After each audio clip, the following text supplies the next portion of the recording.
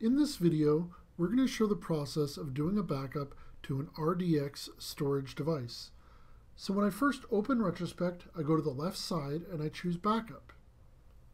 Retrospect will allow me to do a backup using a wizard mode or advanced mode. For today's demonstration, we're going to use the advanced mode.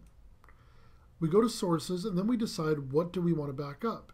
I can select my computer and back up all of the disks that are part of my computer. I can choose the C drive and back up the entire C drive, or I can pick specific folders. To pick a specific folder, I would just go to the C drive, go to subvolume, locate a folder that I want to make as my source, click define, and then add it as a folder to be used as a source for backup. In this particular example, I've already got a folder that I've selected. I'm going to highlight it and click OK. And then I'm going to go to destination and I need to create a backup set for my RDX backup set.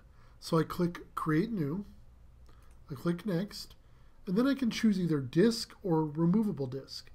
The recommended method is going to be to select disk and click Next, and then I can give it a, name like My RDX Backup. I go to Select, I open up my computer, I pick my E drive, which is my RDX storage device, I click OK, and then I click on Next. I can decide whether I want to encrypt the data or not encrypt the data. I go to Next. I save my catalog file and select Finish. Now that I've created my RDX backup set, I highlight it and click OK, and then I just choose Backup. Retrospect will scan my source and then begin copying the data to the RDX disk.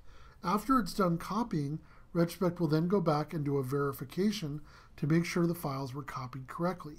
If I'm doing a backup and my data does not fit on the disk, then Retrospect will automatically ask me to select an additional disk to continue with that particular backup.